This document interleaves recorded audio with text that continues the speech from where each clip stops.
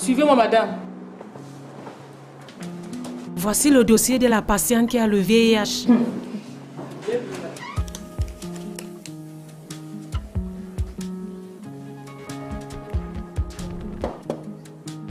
Docteur, la patiente est... Stop Même séropositive, elle reste une patiente.